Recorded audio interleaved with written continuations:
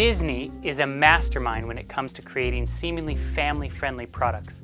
Whether it's a film or a cartoon or an amusement park, Disney has convinced the masses that it's simply good, clean fun.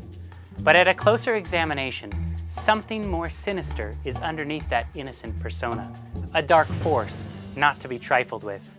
You know, Disney has never been shy to showcase occult themes, but it seems that most of the content aimed at the young is becoming blatantly evil. Take, for instance, the movie called Descendants. The logo alone should deter any awake Christian from wasting even a precious moment upon watching this. The plot should even sound the alarm that much more. The next generation of villains arrives. Jay, son of Jafar. What are you doing? It's called stealing. It's like buying whatever I want, except it's free. Evie, daughter of Evil Queen. Is everybody at home as pretty as you? I like to think I'm the fairest of them all. Beauty is paid. Carlos, son of Cruella de Vil. This thing is a killer! This is a vicious, rabid pack animal. Hey, who told you that? My mother. And now, daughter of Maleficent. They're at their best when doing their worst. This glamorizes being evil and makes it fashionable. In 2014, Disney made this story called Maleficent, a very satanic film that mesmerized many young people in its spell. Well, well. I know you. I walked with you once upon a dream. There is evil in this world. Hatred and revenge.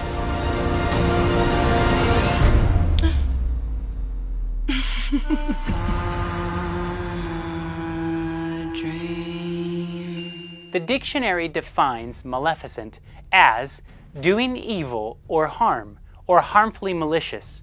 Maleficent means destroyers of reputation. You know, the Bible also speaks of a malicious being that seeks to do us harm.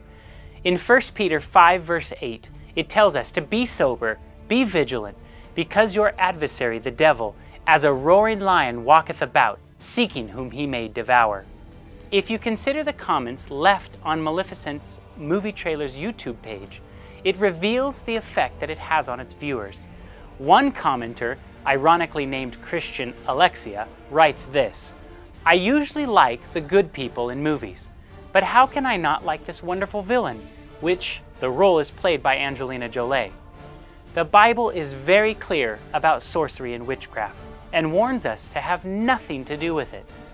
The Bible says in Deuteronomy 18, verse 10 through 12, There shall not be found among you any one that maketh his son or his daughter pass through the fire, or that useth divination, or an observer of times, or an enchanter, or a witch, or a charmer, or a consulter with familiar spirits, or a wizard, or a necromancer. For all that do these things are an abomination unto the Lord. On this verse alone, Christians have no business watching any of these films that contain the very elements that are an abomination to God. But perhaps you're thinking, I would never let my children watch such a film. I only let my children watch the Disney classics. So let's back up and let's review some of those Disney classics. The story of Snow White includes witches, magic mirrors, sorcery, and spells. slave in the magic mirror. Come from the farthest space. Through wind and darkness, I summon thee. Speak! Cinderella, even in the opening scene, they tell you that it's an enchanting story about magic. The Bible is clear no enchanter, no magic. In The Little Mermaid, there's witches, there's spells. In the story of Pocahontas, she consults a familiar tree spirit to guide her. But Grandmother Willow, what is my path? How am I ever going to find it? Your mother asked me the very same question. She did? What did you tell her? I told her to listen. All around you are spirits, child. They live in the earth, the water, the sky. If you listen, They will guide you. Jasmine is supposed to marry the prince, but instead she falls in love with the thief. This also contains magic and sorcery. Mulan's best friend is a little red dragon who lies to her and speaks to the dead, which is necromancing. The Prince and the Frog is all about voodoo.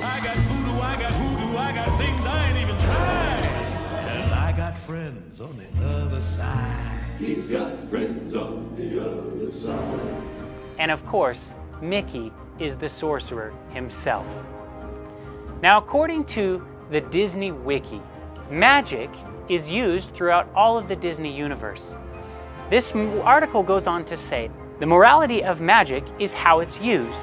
Some use it for good, others for evil.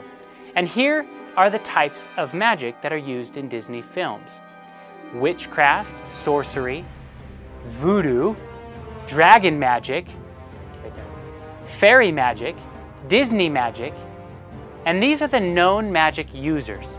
The Disney universe beholds a number of magic users mages, sorcerers, witches, wizards, coming in all shapes and sizes. There are some who use magic for good and benevolent purposes, and others for wicked and selfish or fiendish goals. And some that are indifferent to good and evil, and thus use magic for their own reasons regardless of good or evil. Here is a list in which Disney characters use good or evil magic. Now, I'm sure that some of you may recognize a few of these names in this list. But once again, the Bible is very clear. We are to have nothing to do with these things, period. In fact, the Bible describes these practices as an abomination to the Lord, meaning that God hates these things. And if God hates them, do you think that we should have any involvement in watching them? You see, the classic cartoons open up the doorway for the darker movies down the road. It makes your heart grow fondly towards anything that Disney puts out. If you still question whether these things are good or bad, we've created a whole documentary called Magic Kingdom that would answer many of your questions. It's available on our website. Magic is sorcery. The Bible is full of examples of why we should have nothing to do with it. For instance, in 2 Chronicles chapter 33 verse 6, King Manasseh is condemned for his many evil practices, including sorcery, and he burned his sons as an offering in the valley of the son of Hinnom, and used fortune telling and omens and sorcery, and dealt with mediums and necromancers. He did much evil in the sight of the Lord, provoking him to anger. The Apostle Paul also lists sorcery as one of the many sinful practices that mark the lives of unbelievers. Now, the works of the flesh are evident sexual immorality, impurity, sensuality, idolatry, sorcery, enmity, strife, things like these.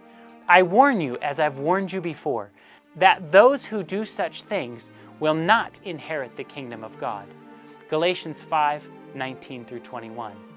Romans 1:32 states very clearly, who knowing the judgment of God, they that which commit such things are worthy of death, not only do the same, but have pleasure in them that do them. If we simply enjoy the things that the Bible defines as sin, for example, magic and sorcery, we are worthy of that same judgment by taking pleasure in watching others commit those sins.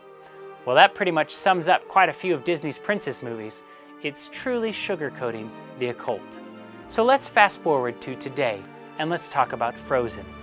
Most likely, many of you have seen this movie. And if you haven't, I'm sure you've heard the songs because your nieces and nephews have sung every word a thousand times.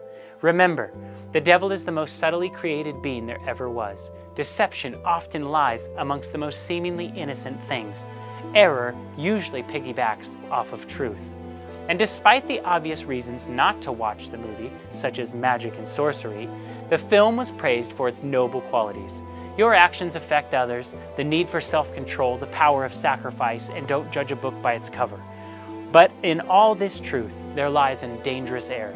When Elsa decides to build her own ice castle, she sings that song, Let It Go.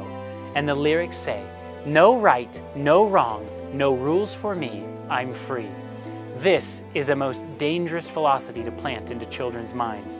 You see, the Ten Commandments are our only guide for right and wrong, where there is no rules, there is only chaos. In fact, it's not only Disney that promotes this confusion of right and wrong, The Despicable Me series is all about making the villain as the hero. The poster for the movie says, when the world needed a hero, they called a villain. When in reality, the world does need a hero, a savior. We need Jesus, but not a cosmic villain or the devil. You see, Hollywood ropes viewers in with these cute, funny little characters. But if you just open your eyes to the real message of the movies, you will see. In the movie The Minions, their sole mission in life is to follow and find the most evil master that they could find. And they end up at a convention for evil villains called VillainCon, which they seek out a supervillain named Scarlet Overkill. You're going to VillainCon, aren't you? VillainCon! I'm gonna get all my favorite villains to sign my magazine. Scarlet Overkill! If I was a minion, that's who I'd want to work for! God, love it and God! Welcome to VillainCon, the biggest gathering of criminals anywhere. Any evil talents? Not bad. What about you? Any evil talents? Hello! La la la la la la! Eh? That's not evil or a talent. Ah!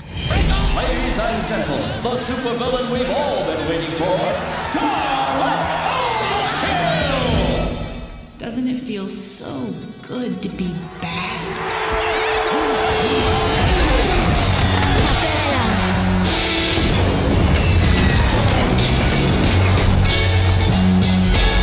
What amazes me about movies like this is you see those words come out of her mouth.